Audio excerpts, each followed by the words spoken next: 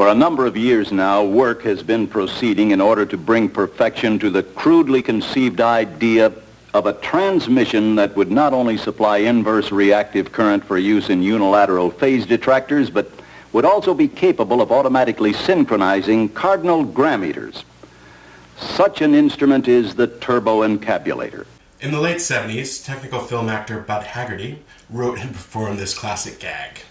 He rambles through technobabble with the same conviction as his usual jargon-filled scripts, which he rarely understood.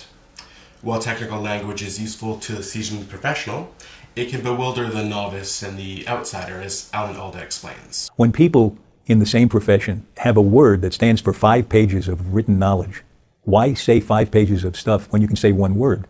And if the other person understands it exactly the way you understand it, then jargon has usefulness. The trouble is, we develop such specialized words that they're not understood by people at just a little distance from our, our expertise. As an electrical instructor, I must teach electrical jargon in my classroom. I must also make sure that my students understand what it means. If I neglect to assess true understanding, students may circumvent actual learning and just parrot their right answer come test time. While teaching in Brazil, the great explainer, Nobel Prize winning physicist Richard Feynman was horrified to discover that his students did not understand foundational material. Instead, they had learned every trick to pass the tests and get the grades. He noted that everything was entirely memorized, yet nothing had been translated into meaningful words. Eric Mazur warns that traditional lectures and assessments do little to help students actually understand the curriculum. He advocates for a flipped classroom model where teachers spend more of their time nurturing comprehension. And so basically, it boils down to inverting this approach, flipping it as it's called now. So push the information transfer outside of the classroom so that you don't have to regurgitate the textbook to them. I mean, you can do that with video or a book, and then in class do something that helps them build understanding. In my last video, I pledged to teach things worth learning and considered using the Feynman technique. So today, I'm exploring this topic further with student engagement technique number 31, directed paraphrasing. So after a lesson or a reading, my students will paraphrase concepts that are complex or are typically conveyed using highly specialized vocabulary into simpler language that will be understood by a designated audience.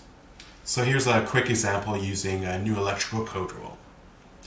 The identified conductor shall be installed at each location of a manual or automatic control device for the control of permanently installed luminaires at a branch circuit outlet.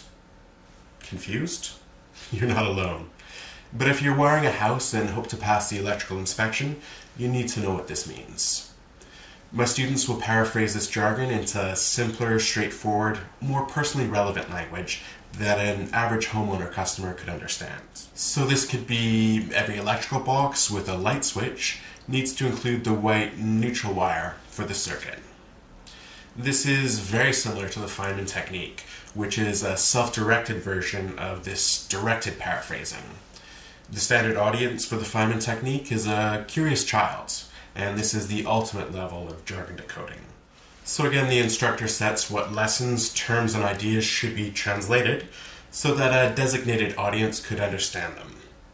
It's important that the instructor sets limits on the length of the paraphrases and also tests the feasibility of the exercise. Instructors may choose different types of audiences to increase or decrease difficulty. Students synthesize the information and explain it in their own words. This is different from a summary, which means to distill the most essential points. Students may present their directed paraphrase to each other, or they may hand in a written version. The instructor should give constructive feedback and assist students with comprehension as necessary as they go through the exercise. Now, the biggest advantage of directed paraphrasing is that it forces students to be honest about their level of comprehension of the terms and the ideas of the topic. Author Simon Sinek explains how it can be easy to deceive yourself about truly understanding a topic until you attempt to explain it to another person. You know, so many things that we're taught whether from a teacher or somebody in industry or you know sitting down with your financial advisor whoever you can understand it hopefully maybe you think you can for the moment that you're with them but then try go to explain it, what you just learned in the meeting Yeah. and you're like i don't know. That's what he said. I, I i don't know. Right? The desire to simplify concepts is for my own understanding and if i can understand it then i can share it with somebody because now i have an understanding of it Instructors should find out quickly and in some detail how well students have understood a given lesson, lecture, or section of the course. Common sticking points and useful ways to explain curriculum to future students should emerge during this exercise, and a savvy instructor will take notes.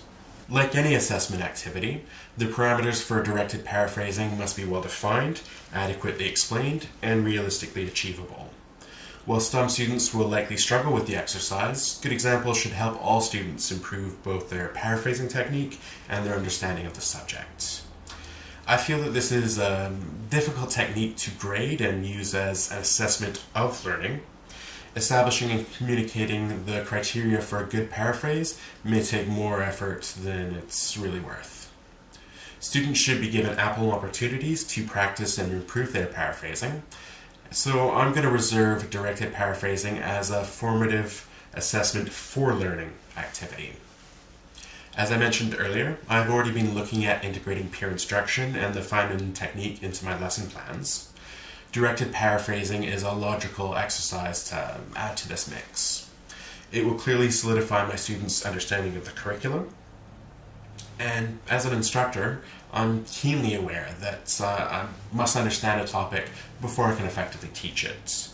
Once I teach it, uh, I seem to find that I'm also able to retain the information much more easily than if I simply studied it. Directed paraphrasing should bring similar understanding and retention benefits to my students.